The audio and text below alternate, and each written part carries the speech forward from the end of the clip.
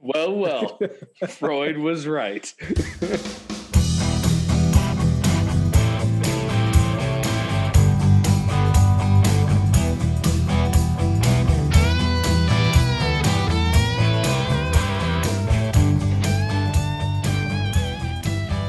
Hello, and welcome to the second episode of Cinema Decon, deconstructing and overthinking the movies of our younger years. My name is Steve Epley, and on this podcast, we will revisit the movies that we keep in the back part of our minds as flawless masterpieces, untouchable by any criticism, and hopefully they stay that way.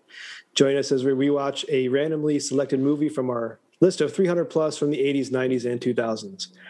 With me on this journey is my co host, who would never light up a cigar before the fat lady saying, Aaron. How are you tonight, Aaron? I am doing excellent tonight, Steve. Uh, it's been a really long week, so I'm glad to be able to sit down and actually uh, talk about movies for a change. Yeah, it's been about a week since we since we met up, and been been looking forward to talking about uh, this week's movie. Mm, yes, a staple classic from the mid to late '90s. So, as we embark on this second episode of Cinema Decon, we want to send a big thank you to everyone who has taken the time to listen to our first cuts, multiple cuts of, of terrible cuts, and provided feedback on all the things. Our friends Bud, Jamal, Pete, Michelle, who is my wife, Michael, my dad, a lot of people out there uh, provided some good feedback out there for us.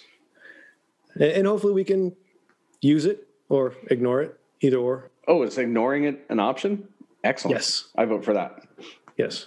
if they tell us to be funnier, we may ignore that. Anyone who thinks they know more about movies than Steve and I obviously don't know what they're doing. Don't be yourself. Why would you do that? I mean, so far the, the process for me has been been pretty fun. I've learned a lot about the the editing process and just the recording process, and it's just been a lot of fun in my my spare time. Pretty much splicing things up to make Aaron and I sound a lot better than than we actually are. Hearing yourself is a bit weird when you're when you're doing the editing process. That's going to take some getting used to, but I think I think it turned out all right. Uh, we've been able to put out uh, a trailer. So for those out there that haven't listened to our episode zero trailer, you know, please do. Uh, I think it turned out okay.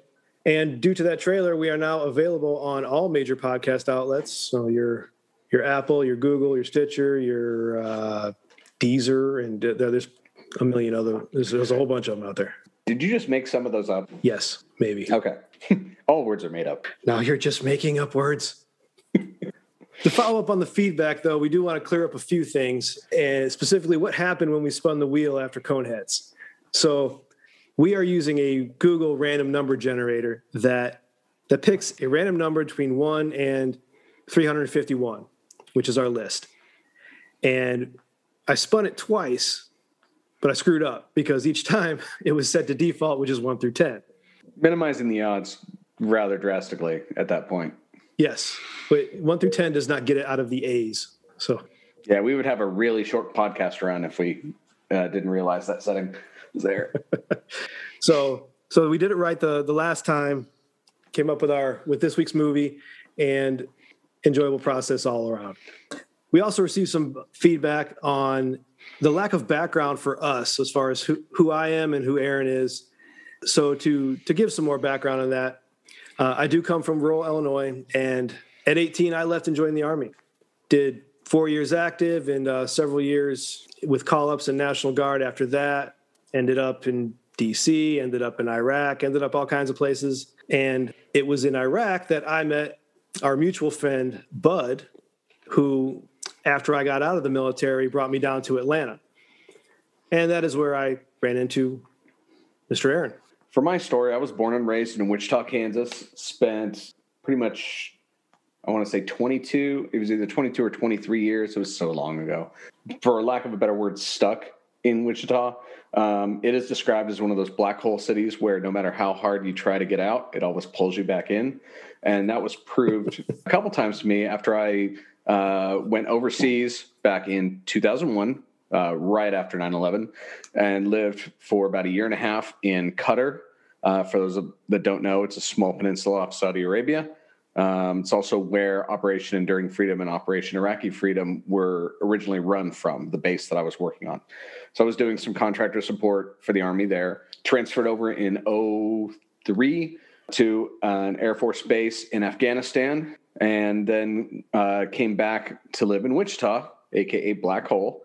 Uh, up until 06 when I finally had enough of it and wanted to get out, primarily because the IT industry in Wichita is not the greatest.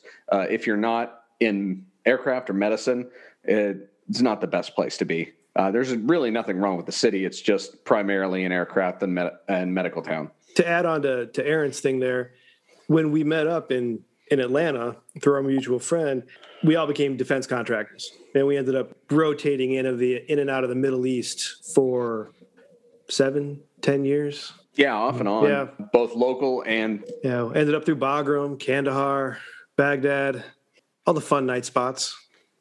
Yeah, went through Yeah, there. Not to mention the lovely local spots of uh, Camp Lejeune. and that's really the only lovely one. I guess Pendleton wasn't so bad. Being able to go to Disneyland Oh, was yeah, a nice yeah. touch. Everyone, because let's be honest, everyone wants Mr. Toad's Wild Ride. so in all those travels and in our various ways movies were always there anytime you're overseas there is the shared drive that has many many movies that you can do you know in your downtime you just just pull one onto your laptop and go ahead and watch it or uh, or if you're real hung up you go to the local uh, store and get some bootlegs you know if you can if you can handle someone standing up in the middle of a theater and walking out you know in the middle of your shot Not to mention uh, multiple language subtitles that you can't yeah. read. Yeah, look, I knew I should have learned Russian. And let's not forget all the hours we spent sitting on the floor of random Middle Eastern airports waiting for our uh, military flights, just going through maybe we could probably fit two, three movies in one sitting waiting for those flights because we'd have to get to the airport at maybe 2, 3 a.m. And it would be five hours before we were able to get on one of those planes. Yeah, there'll be many movies on our list that when it goes back to a, you know, what recollection or memory do you have of that film? It's going to flash back to me to either somewhere defense contractor or somewhere military. You know, there's a lot of these movies just bring up the fond memories of those days. Fond memories.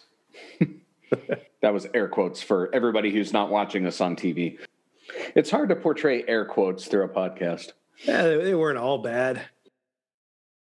There she is, There's there's my wife, and we're live streaming. Say hi. Mrs. Epley. She can't hear me though. I will say my wife has not given me a five star review on iTunes yet. And probably will not. She doesn't even have the app yet. Have guys. Before we jump, all right, I'm out of I'm out of liquid. I'm gonna grab a, a liquid. Got me some podcast juice. All right.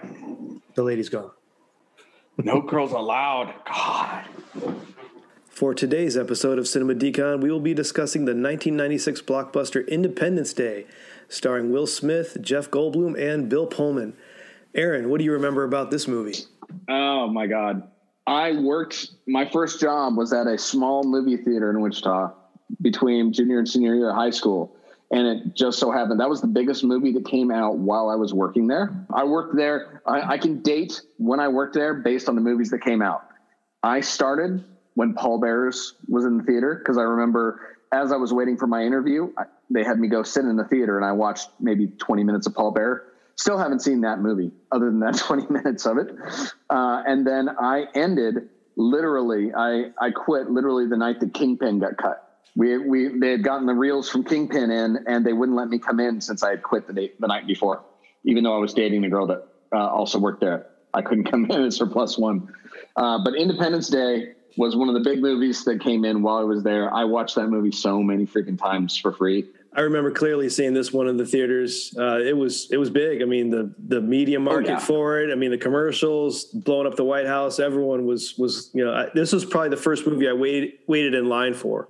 It was a very good trailer. This it, I remember like the trailer for it didn't give much about the movie other than showing them sh- having them show up and then the White House explodes and everybody's jaw basically drops like so that was pretty that was pretty intense. I, I have seen that within the past five years. I think I rewatched it when the uh, terrible sequel came out. And I did not rewatch it when the terrible sequel came out. I just watched the terrible sequel and then did some tantric chanting to try to gain those two hours of my life back. So this will be interesting. I, I probably haven't watched that movie since early 2000s. I want to say because that was that was 95, 96, right? That would have been 96. Um, I have that. I have that in our list somewhere. 96. 1996. Right. We will see you again when we go back and watch Independence Day. Yeah, let's kick the tires and light the fires, Big Daddy. The 4th of July will no longer be known as an American holiday, but as the day when the world declared in one voice, we will not go quietly into the night. We will not vanish without a fight. We're going to live on. We're going to survive. Today, we celebrate our Independence Day.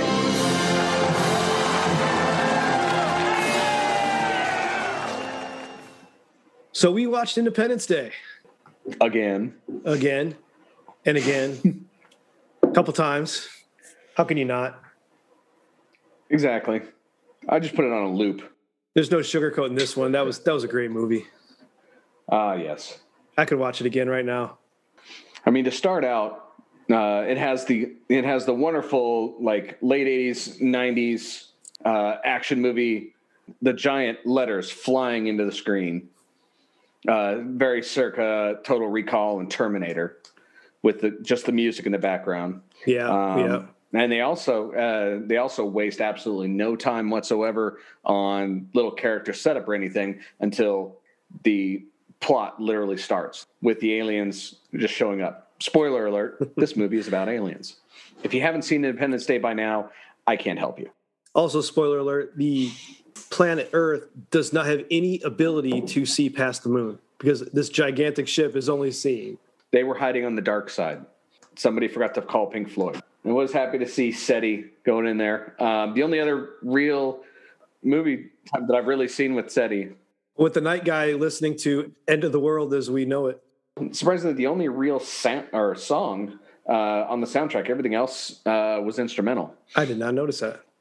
yeah everything that i saw uh, I, I actually looked up with the soundtrack and that was the only song song but yeah the only the only other uh, love that seti has ever gotten that i've seen was in the uh, movie contact with jodie foster also a good movie Before we go any f- further, though, it is worth mentioning that during our time as defense contractors, Aaron and I were satellite network engineers.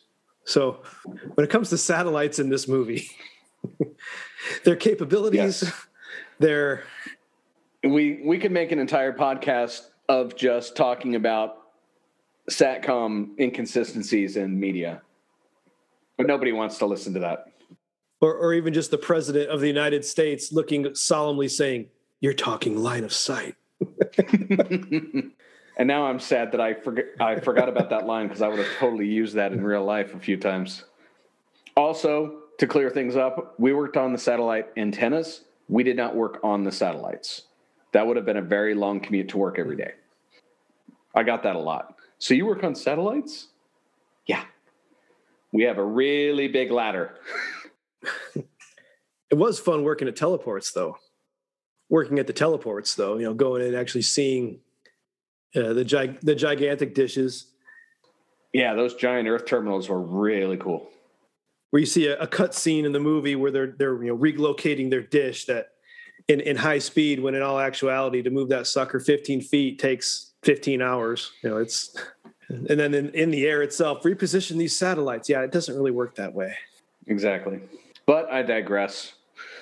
We're here to talk about the movie, not the inconsistent use of SATCOM technology. Well, let me let me segue into Robert Loggia is awesome. That that man has been in many movies. He's the he's the four star general, four star Marine Corps general. Also the the coach in Necessary Roughness. I think he was the the, the boss in Big. Ah, yes, the piano dance. Yeah, he has a very identifiable voice. You'd recognize him without even seeing him. Yeah, apparently uh, Roland Emmerich gave him uh, homework in order to uh, uh, to prepare for his role, and he told him to watch Airport, the the thriller for uh, about a you know terrorist and stuff at, at, at an airport and the chaos and stuff. But he mistakenly watched Airplane, and then he refused to come out of his trailer because he, he didn't want to be in a spoof movie. That is by far the best origin story for an actor for a role that I've ever heard. But they introduce his character great because it, you've got a, a four star him and a two star army general walking towards the door, and the four star stops and just looks at the two star. The two stars played by the dad from the Wonder Years, and, and he hesitates. He's like, "Oh crap!" Yeah, and then he opens the door. that, that- was uh, the, the, the, that was General Officers in a nutshell, right there. I loved it That is comically accurate. because then that two star is going to stare down a, a full bird and be like, "Where's my door?" and it just keeps rolling downhill. I will say, rewatching this uh, definitely brought back some memories from watching it the first time. The intro with uh, when the saucers separate from the mothership, the camera is basically looks like it's mounted on the surface of the mothership, and you see all the all the small sh- smaller battleships breaking apart and then all rotating around to show that they're discs in one move. That was really nice. Uh, one thing I did notice later in the movie is if these if all these saucers were basically mounted on the outside of the mothership, when we saw the actual outside of the mothership later in the movie, I didn't notice any actual like mounting points for anything. Everything was Yeah, you're right. relatively not for not smooth. You think? Yeah, you think there would have been little craters. Yeah, just little disc-sized uh, USB ports, basically. That's what I was expecting. That that would have cost more money, and they couldn't get Fruitopia or Coke to sponsor the mothership. That and uh, I'm sure somebody had a uh, patent on a uh, UFO-shaped docking clamp that they would have had to obtain rights for. And then when they finally enter the atmosphere, just I remember it from the original uh, see watching the trailers where they only really show maybe bits and glimpses of the the spaceships in the trailer. You see a lot of the fiery storm cloud that is created as they're entering the atmosphere, and maybe one or two shots that actually show pieces of the spaceship from completely upward angle, and then they're in the it's completely covering the background over the buildings as they're being blown up in the trailer, and that's as far as the trailer got. That was one of the things that was kind of cool about the trailer is it didn't touch on the plot at all.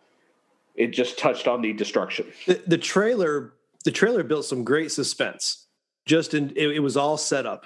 It was a te- all it was was a teaser at that point because nobody knew what what the plot of the movie was going at, to be. at They the just very knew minimum, the White at House some was point the. White House was I getting don't, blown up. I don't remember seeing any explosions in the trailer. Did they? I think they. I think it exploded. I think that was the end of the trailer. Uh, I will say, like for for Act One of this movie, which is well, one Mm-hmm. thing they did rather nicely was they broke up uh, the movie into the three acts. They did. over the actual three days that the plot of the movie takes place July 2nd, July 3rd, July 4th. And they, they do that pretty evenly. And I think that does really well.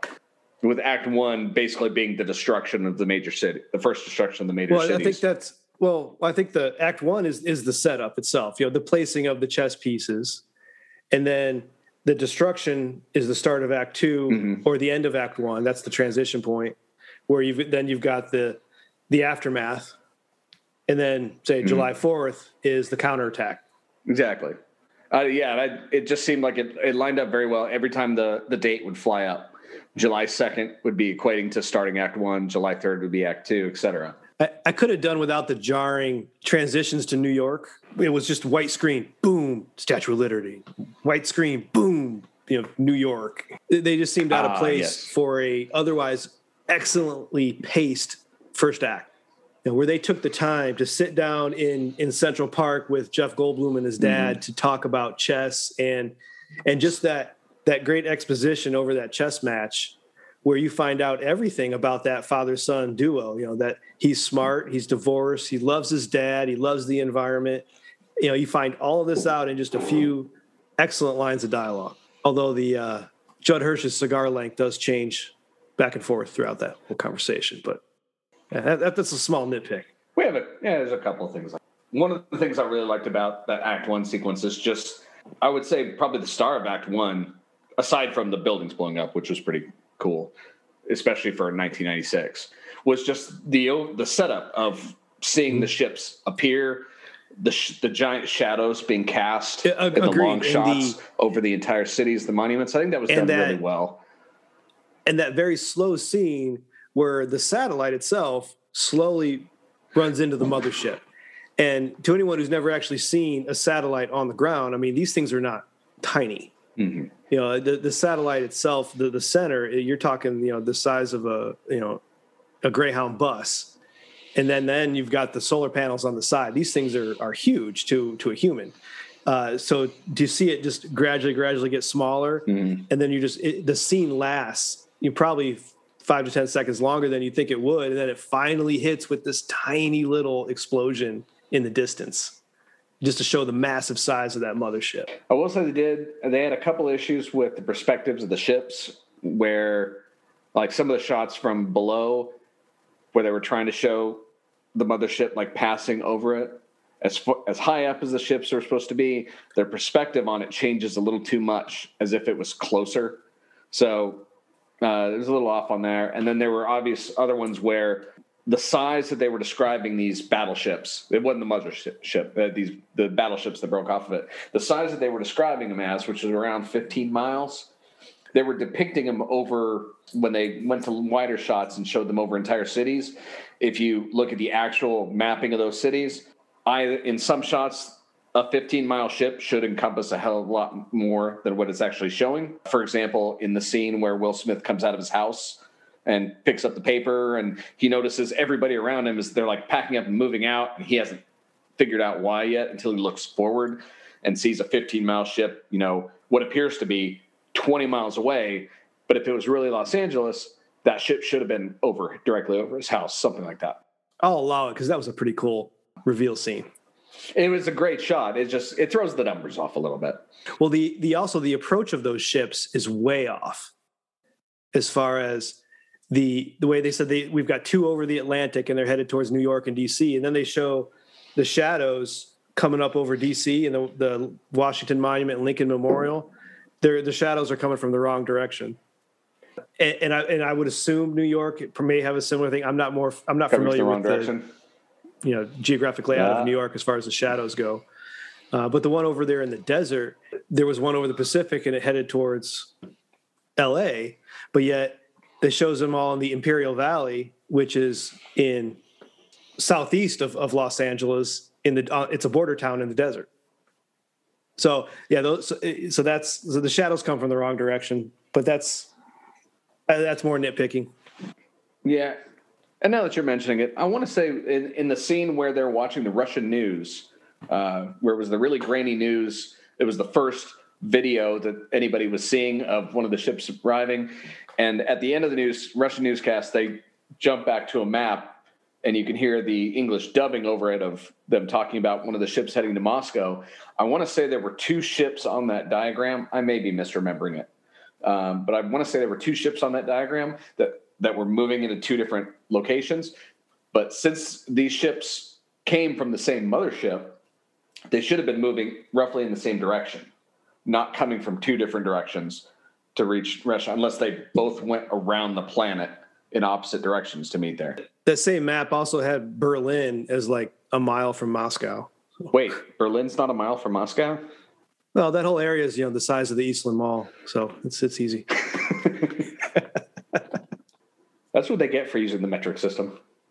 Um, I thought it was funny uh, when uh, uh, David's assistant, when uh, after he's discovered the signal, and he's talking to his assistant, who you know was hiding under his desk. Uh, I can't remember the guy's name, but he's been in a lot of things. But he's uh, he's talking to his mom, trying to uh, ask her why, uh, what he wants to do. Yeah, the guy from Mrs. Doubtfire. I haven't seen that in so long. I'll t- have to take your word for it. Yeah, yeah. I got I gotta call my mother. But he has, yeah, he has that line. I gotta call my brother. I gotta call my housekeeper. I gotta call my lawyer. And forget my lawyer. The line where he says, Yeah. and forget my lawyer, sounds different. Yeah, you, I you can tell that was dubbed. yeah, I swear he's, eh, fuck my lawyer.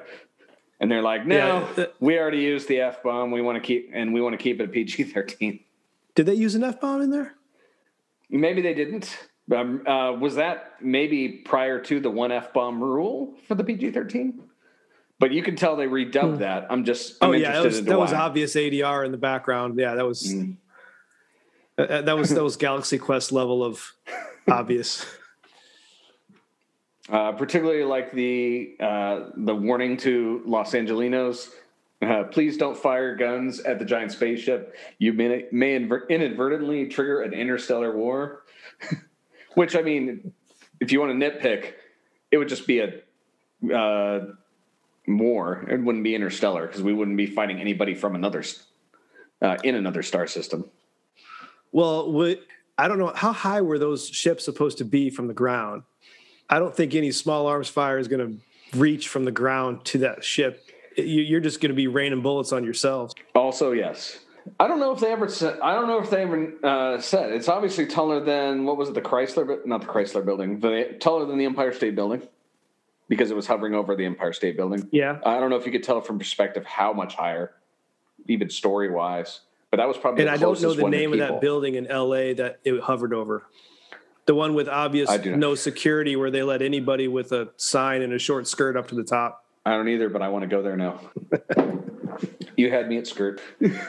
I do have some notes here, military wise, about the beginning because you got the the scene on the sub, uh, and these are nitpicks. But the Persian Gulf does not fall under Atlanticom; falls under CENTCOM. They they should have reported their sighting to CENTCOM, and that should have went through to the Pentagon. But that's that's small.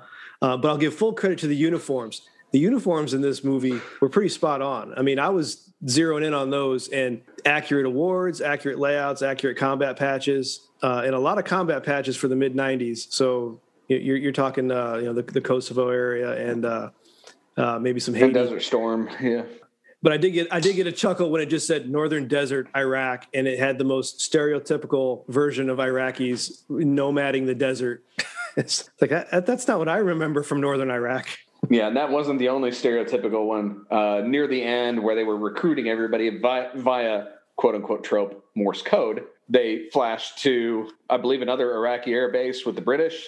And then the next scene, I want to say, was the French, who were, of course, in a castle in the rain, smoking cigarettes and eating croissants while, while they were talking. And then Well, the Americans as they- saved the world. yeah, and as they flashed over to Russia, you could hear the the ID4 theme song in the background change to like a Russian version of itself Oh, really? to make sure everybody knows we are in Mother Russia now. I'm kind of curious with the um, the light panel helicopter, what language they were attempting to communicate with this completely foreign alien entity with using those light panels. So obviously, we've seen this done in a couple of movies uh, since then, and maybe even before then. The one that I've heard the most about is, say, the movie The Arrival, with how they were depicting how uh, what uh, first communication with a completely alien en- entity might be, and then this light panel thing. Uh, I'm not sure what they were trying to accomplish because it wasn't. You would think maybe binary would be the easiest thing to go with one zero kind of thing but they were they appeared to be just sending random random light flashes See, what comes to mind for me is is Close Encounters of the Third Kind at the end with the the lights and the music. Mhm. But now I'm picturing you know aliens landing outside my house and trying to communicate me with a gigantic strobe light. You know, I'm going to look at them like they're goddamn morons. and see by far the best first contact uh, communication signal that i've ever seen is uh, john fogerty ooby dooby from uh, star trek I need to unfriend you for that. was that roy orbison It's Roy Orbison. okay i literally just looked that up because i couldn't remember who it was John Fogerty. That's what came up when i searched ooby dooby Ooby Dooby is Roy Orbison classic. Best version. yeah well it's not a it's not the top fa- uh, top list on it i'll tell you that much Zefram Cochrane knows knows the right one. And, and besides, the best first contact is always going to be Mars Attacks. the international sign of the donut And it's worth mentioning on this since we're still talking about the motherships and and all that. It's obvious that these ships coming into atmosphere over all these major places of this size would be environmentally the, the earth would be wrecked already. These things would be causing tidal waves, actual earthquakes, not the the Will Smith tremor, you know, that he mentions. These things would Yeah. be causing havoc. yeah it's great Even just the, crazy the flaming walls. for the size of that mothership, just the mothership without the battleships would have affected the gravitational pull Yeah, uh, yeah, that'll screw up the moon and quite everything. possibly throwing off, yeah, quite possibly throwing off the moon as well. But this movie does a great job with establishing the you know suspension of belief through their storytelling. It's it's only on uh, you know the, the second or fiftieth rewatch that you're like, man, the, this would cause problem. Well, do we want to talk about the like say the intro of all the main characters? Sure. So so first we get President Lone Starr and married to President Roslin, young. They hold off and don't go directly into it. They just jump to Lone Starr in a bed talking to Roslin, who's at a hotel somewhere. And they don't, uh, and then as he turns on the TV while they're bad mouthing the president, who we haven't actually revealed that he's the president yet. And again, from the trailers, uh, at least the initial trailers, no, none of the characters are really introduced as who Yeah, I should have watched the trailer before this. I'm pretty sure. I'm pretty sure Bill Pullman is in the trailer, but not. Uh, it's not apparent that he's the president. It isn't until he gets up and walks out that that he's greeted and you understand who he is.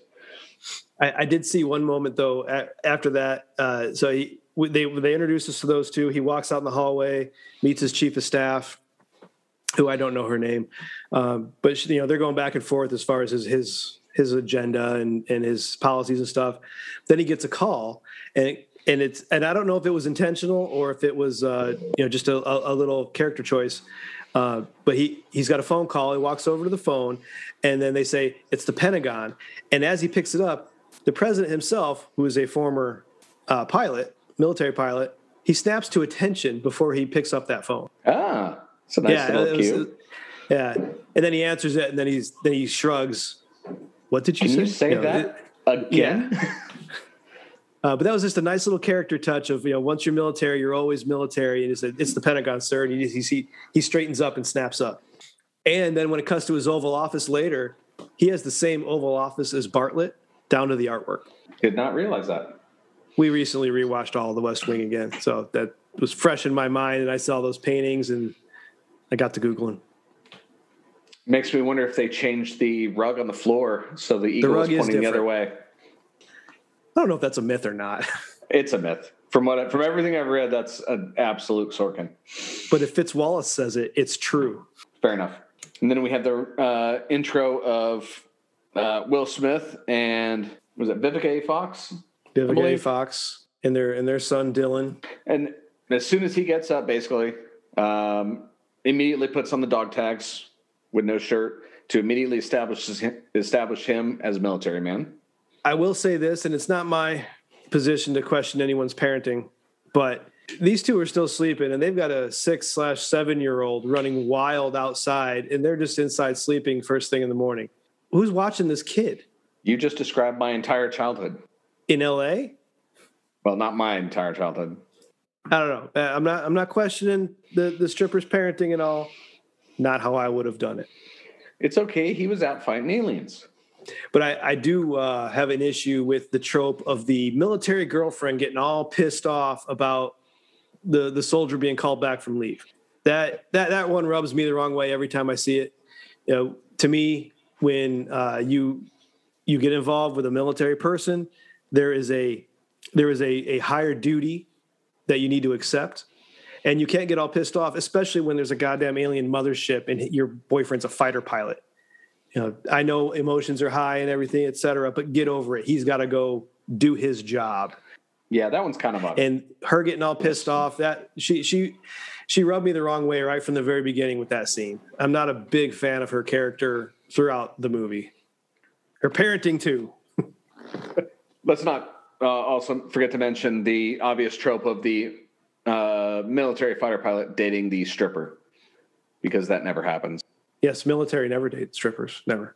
No, Lejeune. Un, un, unheard of. So, and then uh, after Mr. Hiller, Captain Hiller, Will Smith meets up with his right hand man, the lovely Harry Connick Jr. It was nice to see Harry in there. uh, and they have their little ah yes uh, they have their funny little scene in the locker room the pseudo homoerotic harry connick jr proposing to will smith when the other guy walks in he's like nope you guys do your thing He was That's hilarious. I, I I thought his his little sidekick shtick was was was great. The, The the whole yeah the, whole the whole reverend proposal thing. was was funny and the uh, just as a, a supporting character. It's a shame Will Smith immediately forgot about him when he dies.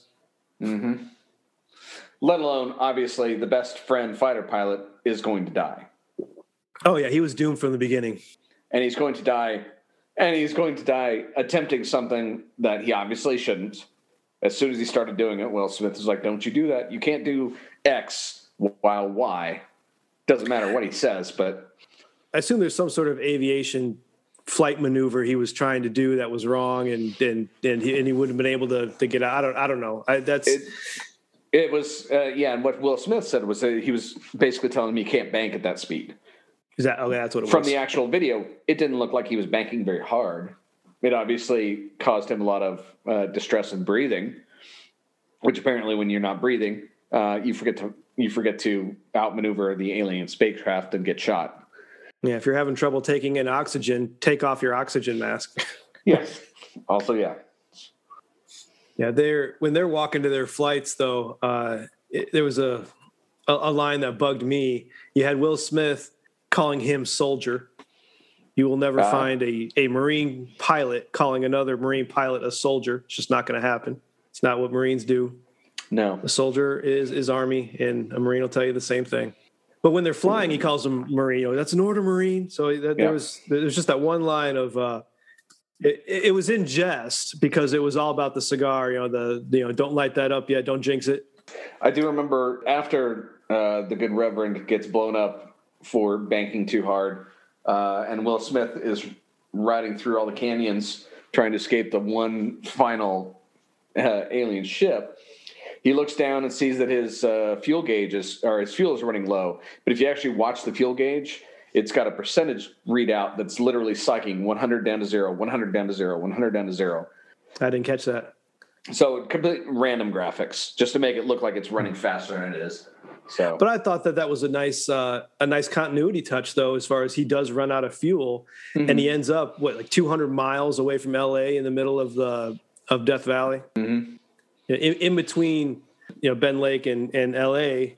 You know, somehow they missed Fort Irwin. They, I mean, Fort Irwin's out there somewhere. They may miss. I don't think anybody misses Fort Irwin. Barstow. Everyone needs to spend time in Barstow. That's for you, bud.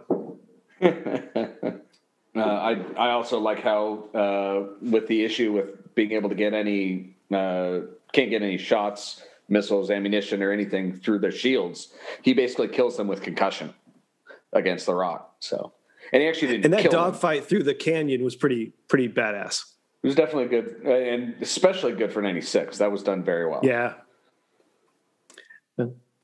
Well, it, well, and we forgot one of the main people with which is uh, you know Dr. Jeff Goldblum.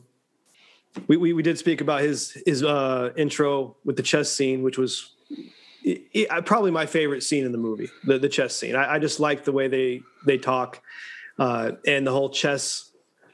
Yeah, Yes. the, the chess metaphor comes up throughout the movie, which is a great callback. What what is his job actually?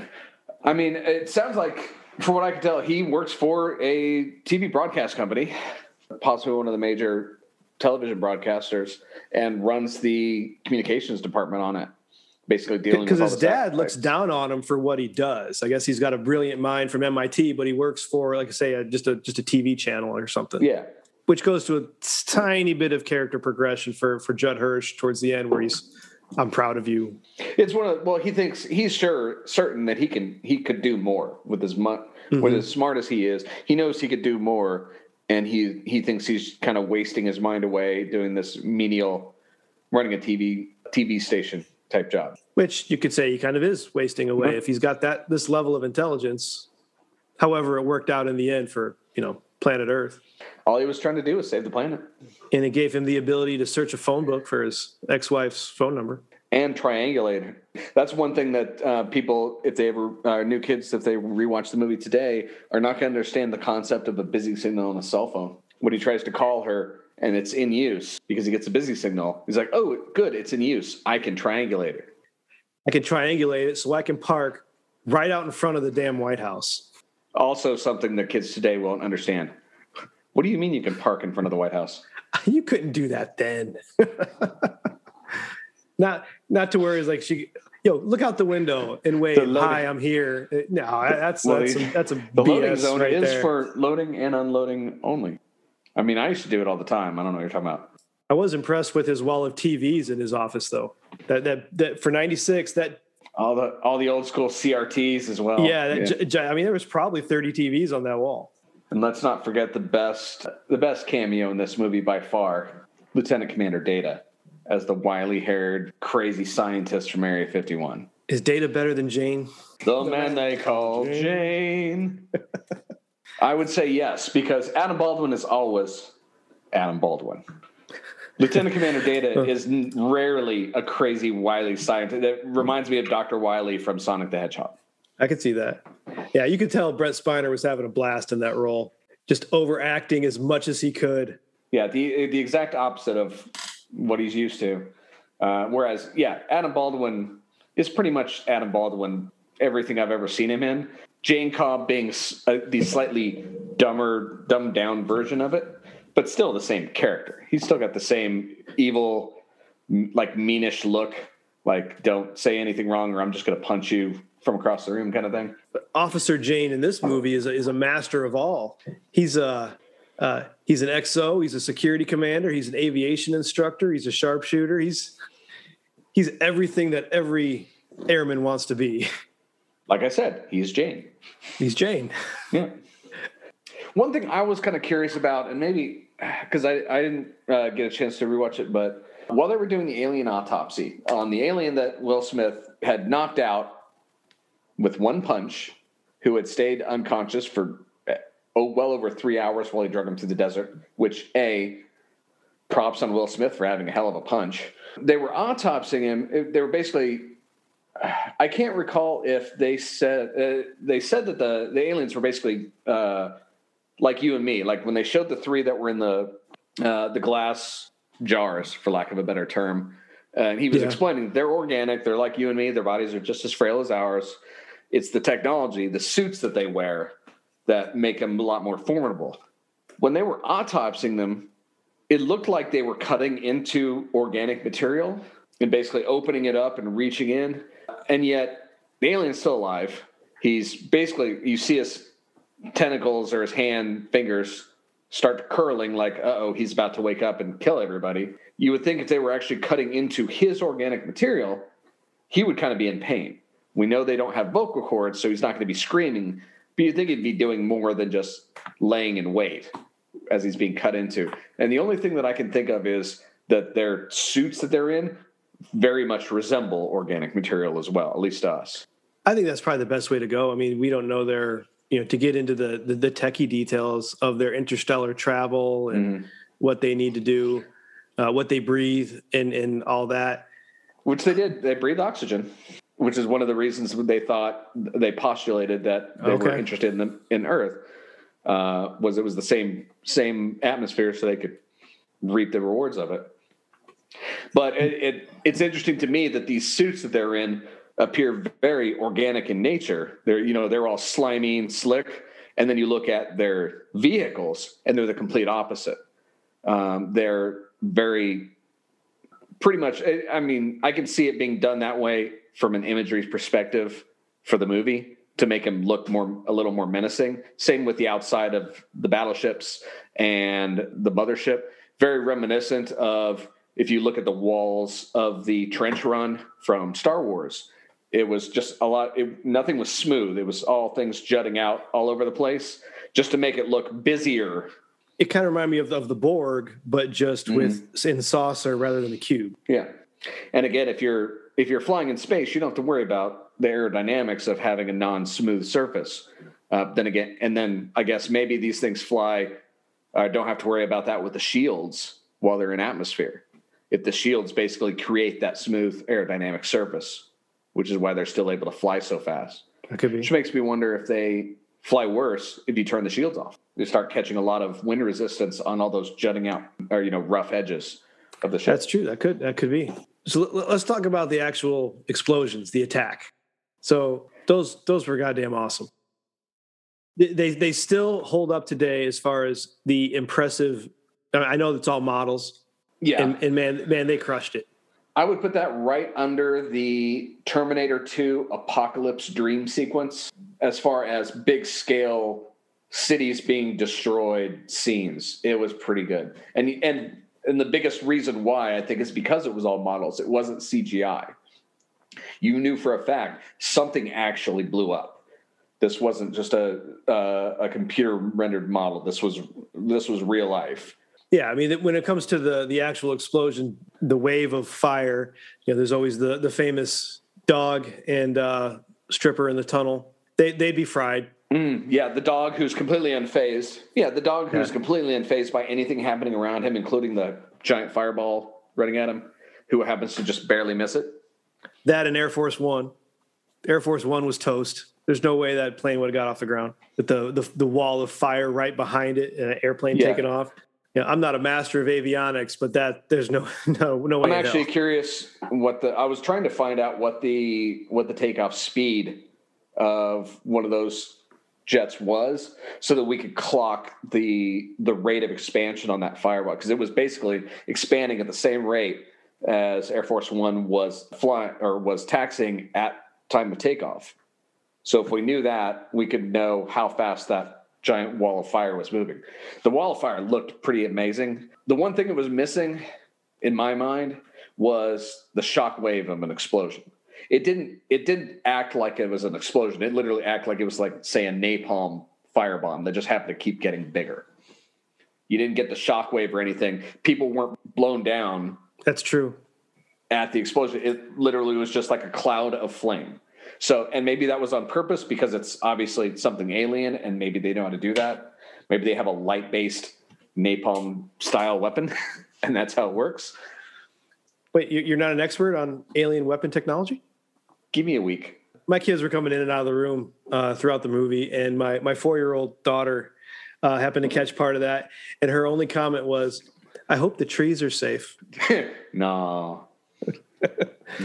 nah, but them trees is gone. But yeah, the there were the, the models were were great. Uh, I, whoever whatever company put those to work and and and built those, great job. Absolutely. I wish more movies did stuff like that today. That's that's a lost art. the, then there was the obvious trope of the alien ship that they have in captivity in Area 51, which hasn't worked in 20, 30 years. I can't remember when they said it crashed. It was in the 50s or 60s. I want to say it was the 60s. It was the fifties, the Roswell incident. Okay, so 30, 40 years. They they say different things in the movie. They they, they keeps one of the guys I swear said crash landed back in the 50s, and then the president's like, "You've had this thing for 20 years." I'm like, "Well, that math doesn't work." And you're the leader of the free world. Well, to be fair, he just found out about it. He didn't just find out about math. Ooh, math. Uh, not even once. But that ship's been sitting there uh, as a pile of wreckage, and then everything starts turning on right as the mothership starts showing up, as if the alien power. And you see this trope a lot. This was in Avengers. This was in Star Wars prequels, where all the robots were controlled by the control ship. You take out the control ship, and all the soldiers are dead. Yeah, the hive mind sort of. Yeah, or the, Control. the hive power supply. It- yeah, at least they these guys kind of did it. I won't say first, but they did it before all those. Really, Agreed. they but it's definitely a a shortcut. Yeah, But but but with such they a to. Ex- uh, it's, it's such a massive scale of of this whole invasion, that's really the only way out they could have written. It, al- and it also explains why they weren't able to do anything with the ship. I'm kind of curious how far off when they decided to nuke, uh, shoot a nuke at the ship over Houston, uh, and then they had the the spotter vehicle pull up what appeared to be on like a highway exit ramp. Wonder how far away they were. That, that's a scene that that highlighted the the Secretary of Defense and what a jackass he was. Because as soon as that explosion went off, you know, he, he jumps out of his seat. He's like, "Yeah, we got him." And then as soon as he's proven wrong, but wait, uh, we we don't know that the next one won't have the same effect. He, he's literally just he's the antagonist in every scenario. He's the sleazy rat guy. He does it very consistently. Uh, he's the guy that knows about Area 51 that obviously hasn't told anybody because of his job, even when all the damn aliens show up. Yeah, he's a he's a pretty piss poor Secretary of Defense. Yeah. Well, on the upside, he didn't have to be that way for long. He's also not Jewish, as we find out. Yeah, my, my little trope list here, uh, to, to go down a couple real quick. Uh, keys in the visor. She Yeah. finds the keys in the visor of the truck. Person talking about motion sickness on Air Force One makes somebody else sick. Uh, We can go up, we can go down, we can go back, we can go forth, we can go side to side. Yeah. but but he does follow up with the whole uh, all you need is all, all you need is love. John Lennon, Uh, smart man. John Lennon, smart man. Shot in the back. Very sad. the jump scare during the alien autopsy, conversations right next to a running helicopter. As we both know, that is impossible. It's it's hard enough to get uh, conversations over comm equipment in a helicopter, Yeah. let alone without it. The first lady, she survives just long enough to, for the doctors to say they can't do anything. Mm-hmm. And then the ticking clock. Yeah, that, that's my trope list. Yeah. Uh, a lot of those uh, are covers for mine. I I had also the uh, when they got to the mothership and were ready to launch the uh, the virus attack. Instead of literally like hitting a button or hitting enter on something, he literally brings up a window, types in three paragraphs of co- what appears to be programming code, like on the fly, and hits enter. Like have that stuff staged Yeah, he's it looks like he typed it all. I know he that was fast. It didn't even take him like three key clicks, and he had the entire page. It- and he even had time to to name the program the Jolly Roger. Jolly Roger, yeah, Uh, and and he had to program in there the the little bar. Rah, rah, rah. Yeah, and the yeah, the skull and crossbones. I mean, that's impressive. All on an Apple PowerBook. It was a good callback to see uh, David's laptop running Mac OS System Seven, which brought back some uh, wonderful memories. Do you think that PowerBook would have been able to boot up with the uh, "Hello, Dave"? Oh, I mean, mine did. I don't know which. In I don't know. 96? You're talking about Ha- HAL 9000? Yes. HAL, yeah. My IBM Aptiva in 1996 was a was a piece of shit. So, I, I, Yeah, I, I'm pretty sure I had a uh, 286 back then. I just know it took me four CD-ROMs to play Myst. So whatever he was doing on that PowerBook was impressive. That and then that leads into the American Save the World plan, which as tropey and uh, as as cliche as it is, I enjoyed it. I thought it was funny. It's about buddy time. What that? What do they suggest? And uh, yeah, and that's that's that whole montage of stereotypical looking as possible in every other location in the world. They want to make sure you know they're in Middle East, they're in France, they're in Russia, they're in Iraq, for example. But but then you've also got the U.S. command, who is in, in a secondary base. We've got our president, we've got our secretary of defense, we've got our chairman of the Joint Chiefs. We've got people still. We've got resources. We've got technology, and then it cuts over to random places around the world, and they're they've already been reduced to tents and what looked like middle officers in their late twenties. Yeah, that, that's all the that's all the Russians and the British had left Yeah. to, to enforce this plan.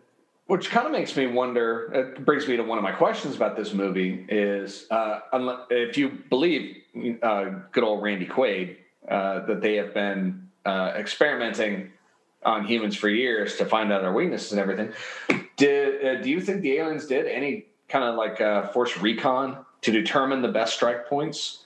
They had to have known some things uh, because they took out they took out NORAD, Yeah, that was my thing. Uh, that NORAD would be a and if they would have went for the population centers, they wouldn't have went for DC. I think Chicago and Miami have higher populations than DC. You got you know New York and LA. Obviously, those are easy ones.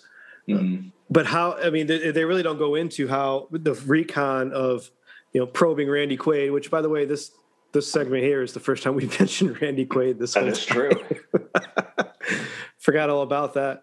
They don't really go into how is there a cloaking ship? You know, how would these other how would they get Randy Quaid with the current ships that we've seen? They've they've been pretty obviously gigantic. Uh, even the even the even the little cruisers that uh, they fly back to the mother mothership is still a big ship.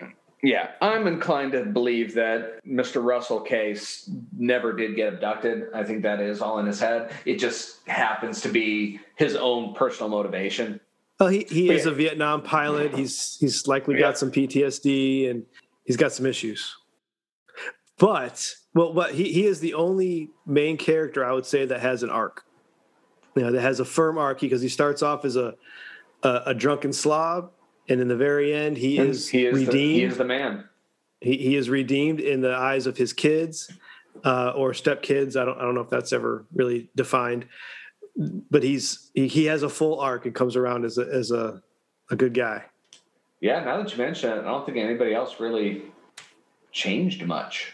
You, you could argue that Jeff Goldblum and Judd Hirsch maybe a little, Get a little but, closer. but largely they're the same people as when the movie started.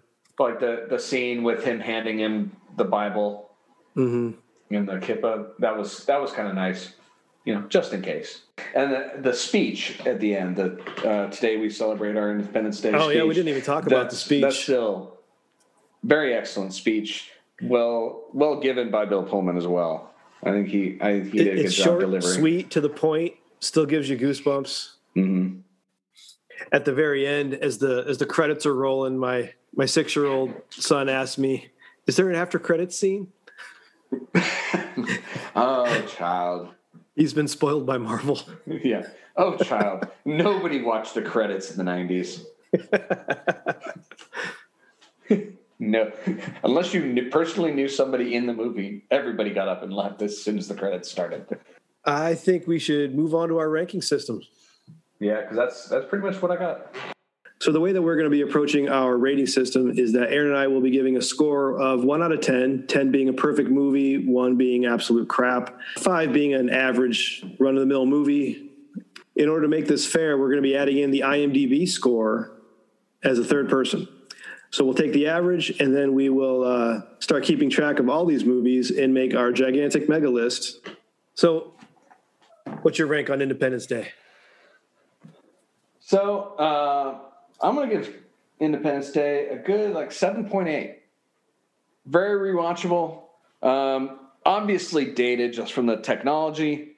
Um, there's a lot of things from a plot perspective that wouldn't work out today uh, with new technology, and that might hinder new viewers being able to understand certain plot points, uh, aka the concept of a busy signal but you know those are little minor points the actual the actual plot and the storytelling of it i think was very spot on I'm going to go with a solid eight.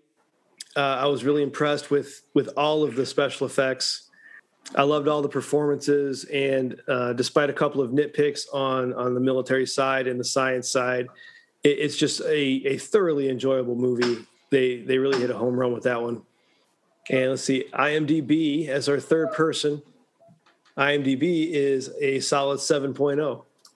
So we are right in the realm there. Yeah. And our composite score 7.6 i'm good with that. Yeah i'm very happy with that. With two movies down that puts it at the top movie we've ever done. All right i think we're uh, ready to uh, spin the wheel. Time to spin. Okay we're gonna do it right this time. All right. Big money big money no whammy no whammy stop 338 oh we got big numbers here. We're down in the 338 is w's? Do we have any w's? I like to buy a vowel? The wedding singer. Oh god. Oh we're, we're going going smack into the 90s version of the 80s Thank everybody for listening, and we hope you stay with us through this little experiment. Please don't forget to subscribe and leave a review on iTunes. Check out our website in the show notes to see the full list of movies we'll be covering and our rankings thus far We'll see you next time on Cinema Decon.